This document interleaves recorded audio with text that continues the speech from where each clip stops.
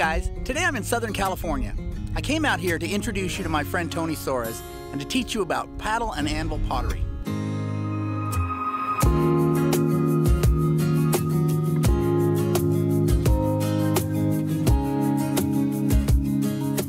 In the ancient Southwest, there were two ways that pottery was manufactured. The first was coil and scrape. That's the way I usually make pottery. And that was practiced by the ancestral Puebloan or Anasazi potters and the Mogollon potters. But in the western part of the Southwest, over here in California and in western Arizona, pottery was made using the paddle and anvil method. Now, there's not many replicators today working with the paddle and anvil method, and one of the best is Tony Soares, who lives here in California. So today I caught up with him at his home, and he talked to us about how he got into pottery and also showed us how to make paddle and anvil pottery. I think you're really going to get something out of this video. My grandmother got me started playing with clay when I was about five years old, which would have been around 1974, 1975.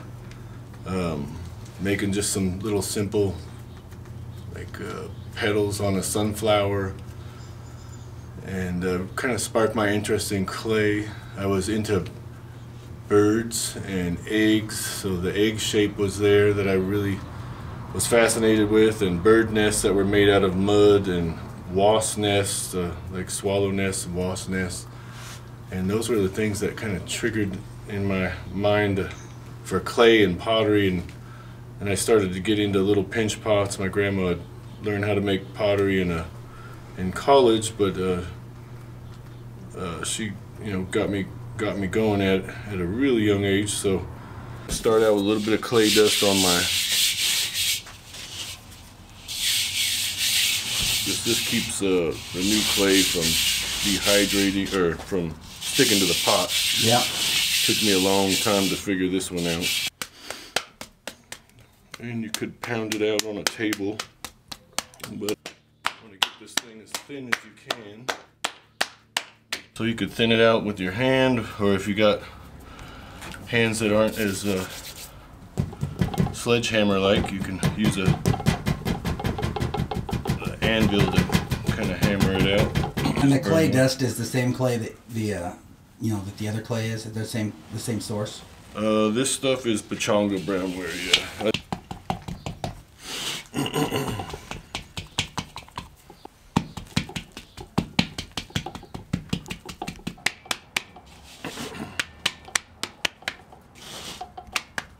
Or nineteen, maybe I tried it at sixteen. I just wasn't getting the you know, the pot, the clay was sticking to the form. And I had to think on it for a while. And I remember my grandma always putting the flour down on the kneading board, and that kept the, the dough from sticking to the kneading board.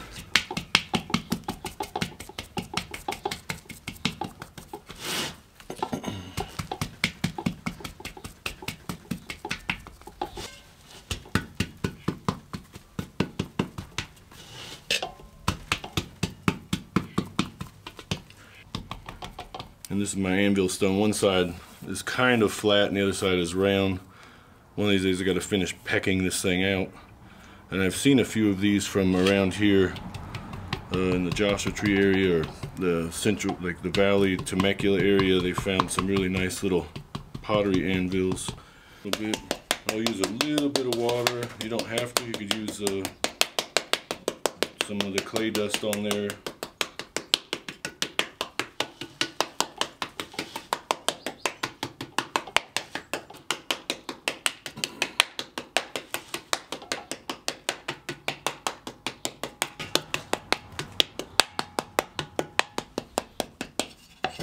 Double check on that. Still got a nice release on there.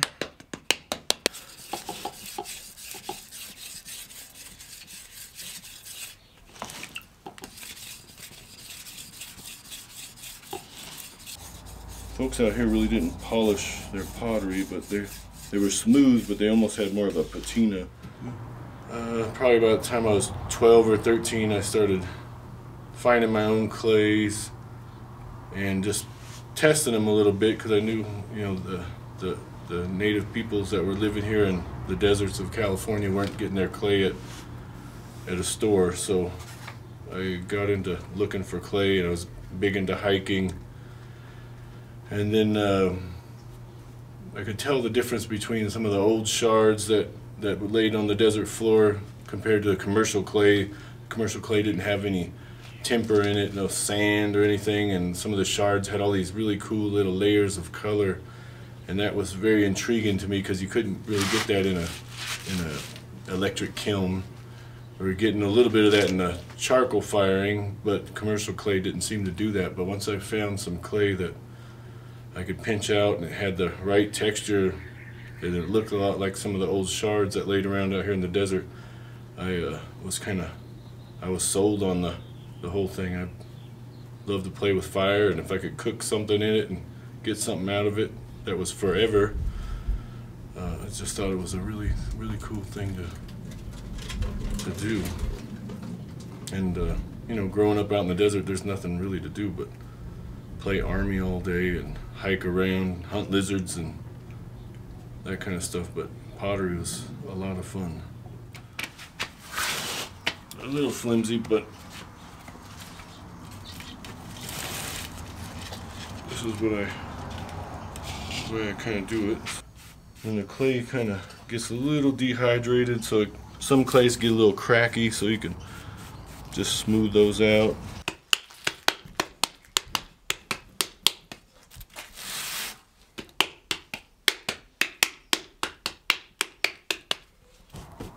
with it.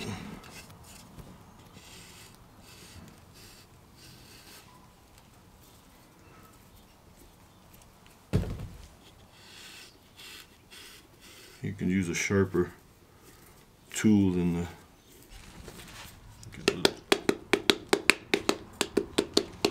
so some of the old pots you they found out here have a, a basket impression so they were using a, a puki a basket puki probably sitting right on their lap while they made Mm -hmm. I'm sure it was very similar out here too back in the day just kind of kneeling down over the pot so I'm gonna start applying my coils and I just split the difference I put the coil on on the side away from me and I just roll it on with my thumb smear it smear it on so it's welded really well and looking at some of the old pots uh, where they didn't obliterate their coil all the way on the inside it looked like they were using coils about well three quarters to an inch thick in mm -hmm. most mm-hmm. cases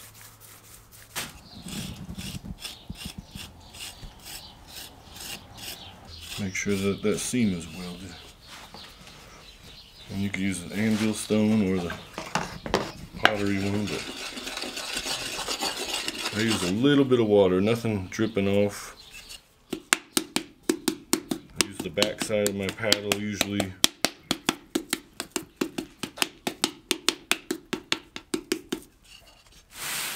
Do all the heavy work with that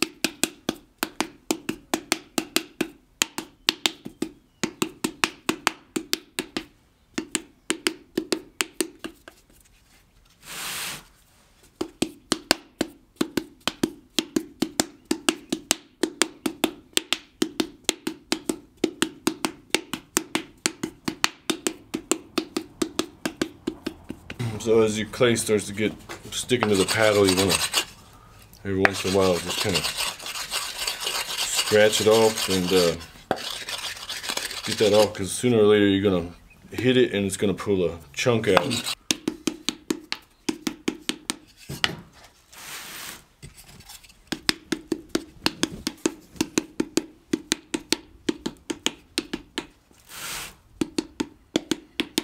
You could do this more towards the end too. You can hammer up a whole bunch of coils and then put the volume back in it. I think uh, when I started to get pretty good at it, I did take a course down in Chihuahua, Mexico from the Nicholas Quezada, brother of famous Juan Quezada, and uh, learned the Mata Ortiz style pottery and how they were making their stuff. And think that kind of helped me refine my stuff because I hadn't really met any potters other than a, a couple potters that were you know wheel throw throwing pottery and I thought I was going to go that route but uh, it just I just didn't like the whole commercial aspect of it. And uh, but uh, the Mata Ortiz pottery was was really neat. It was a neat course to take, and that kind of taught me how to teach pottery. I think more than anything, and uh, so that kind of spilled over when I do all my classes. I still think back from when I was at that and how Nicholas Quezada taught his class and conducted it. It was you know quite quite a good class.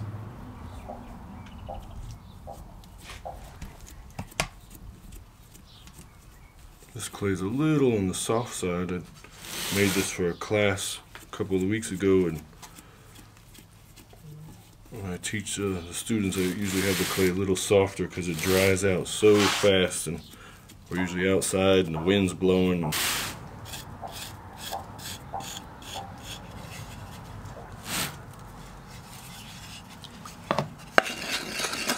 do a little pottery anvil. And one thing that a lot of people overlook is they'll just bang, bang, bang, bang, bang, bang, and then your anvil's stuck. Mm-hmm. So you gotta do give it a little twist. If you don't give it that twist, and, I- and you see I'll be rocking this thing back and forth like that, that's just helps it release each time.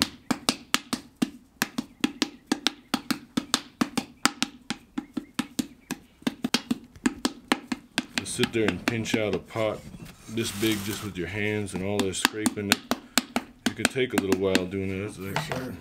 this way is just a little quicker to me. And I love doing all the pinch and coil and scraping and all that stuff. But uh, a lot of times I don't have the time to do that. So I hammer out stuff as fast as I can go.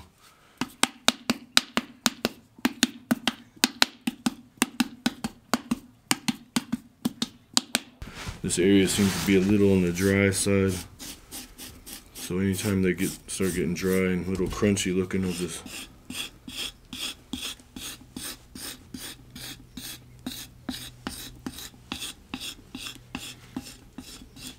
like a lot of the pots out here were small necks and uh, they'll find lids on them and there'll still be some seeds or beans or different things inside. This looks so cool so the water can drip through and hold the round bottom pot the whole nine yards.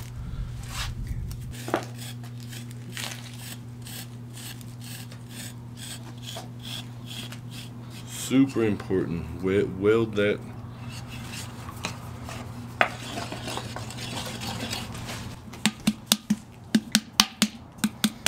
Now you're controlling the shape as you're paddling as well. Mm-hmm.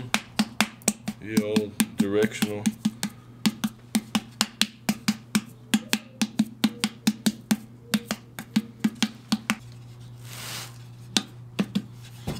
Every so often, recenter. I'll just put my hand. I have seen this impression on some of the pots. Just a little bit of the, the knuckle.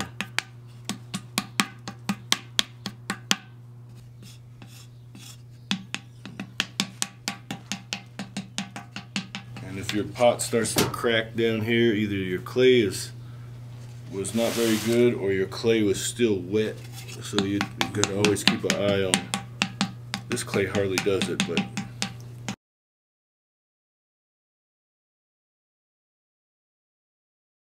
see, so I learned all this paddle and anvil technique. I did see a picture of a Papago Indian pottery woman making pots, and she just had a little layout. A couple of pots were upside down.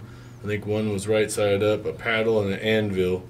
And I knew that all the pottery out here was made by paddle and anvil because I, I guess read it in a book or something.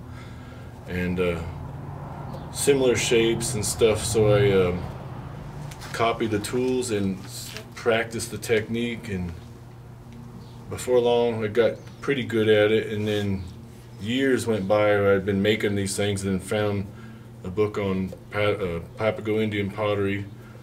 It was written, I forget when it was written, long time ago, 50s or 40s or something. And, and all the stuff, all the photographs in there confirmed everything that I had, was doing was correct. The way they pretty much did everything. So I was really excited. Once I found that book, it would have shaved a lot of uh, time off of the, the learning curve for me had I found that book at an early age.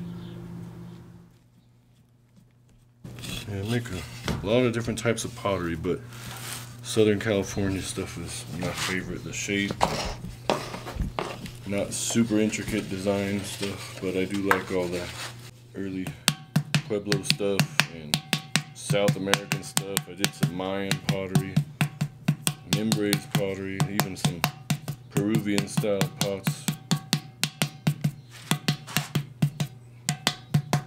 But this paddle and anvil stuff is what calls to me the most.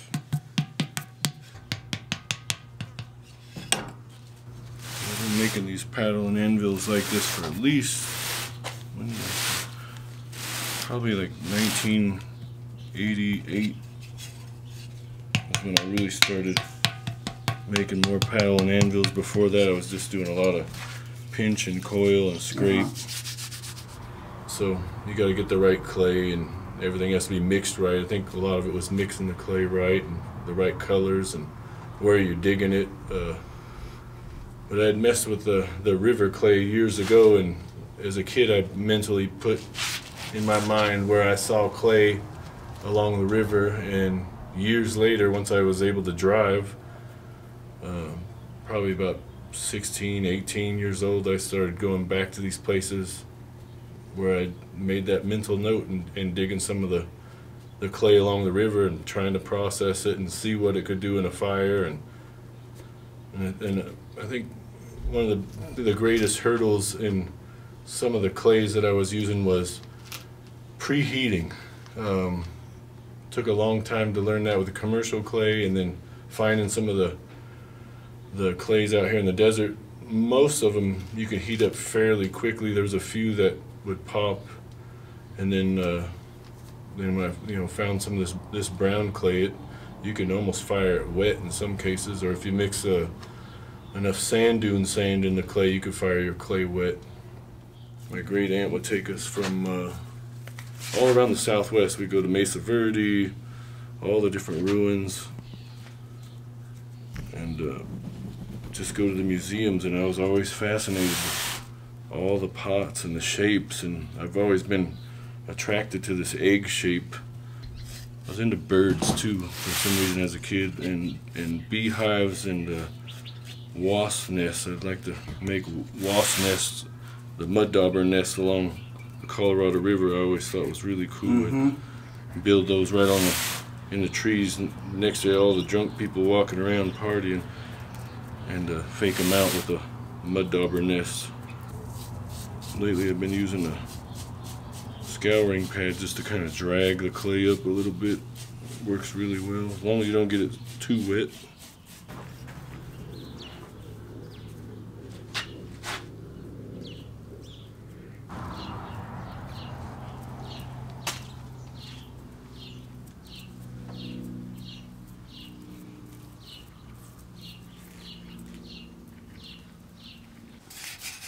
And even the handle, you could use the handle to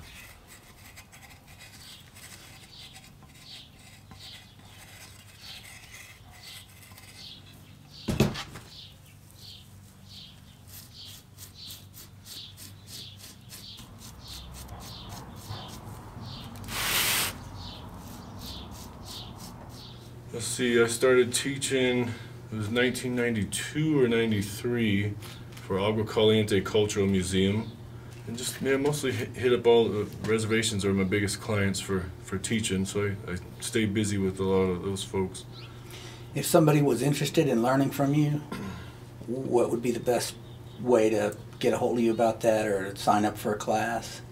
Yeah, probably hit me up on my email. I've been promising everybody I was going to teach teach classes. I've been teaching at Idyllwild Arts oh for about 12 years now. But um, I'm going to start teaching now that COVID's over. I'll start teaching here at the house again. Uh, some classes, do a little bit of paddle and anvil. I can only do like five people at a time. Uh, maybe if we did an outside class, I'd get a few more people, but I like to stay connected with everybody's stuff. Especially when you're working outside, uh, things dry out real quick. You gotta stay on them.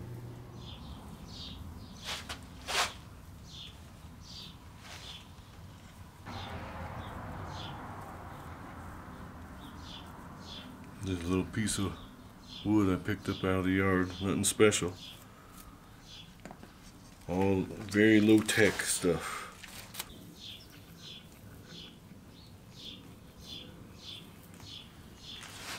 On this side. Smooth that out a little bit. I'm sure the old folks had some little wooden tools or bone tools that they preferred to use, but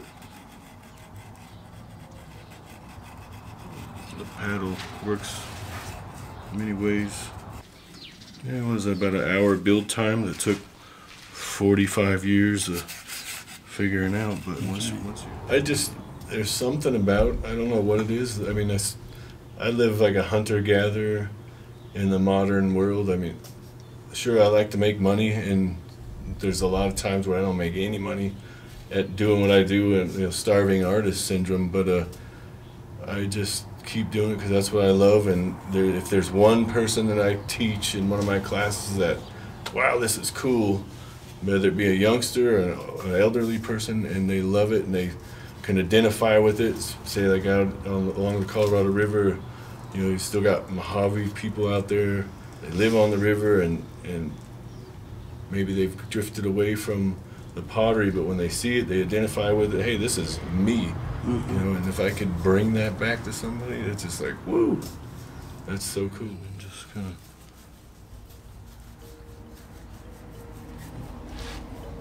But yeah, that's that's about what a, a pot looked like out here, and as it sets up a little bit more. A lot of times they come back in and get rid of any of that little squattiness that was there. But not always. Some of them, they left a little squat on there.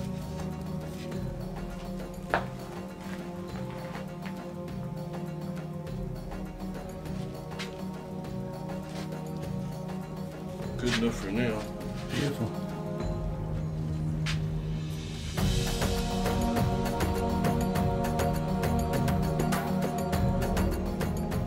I hope you enjoyed that video, meeting Tony Soares and learning about paddle and anvil pottery.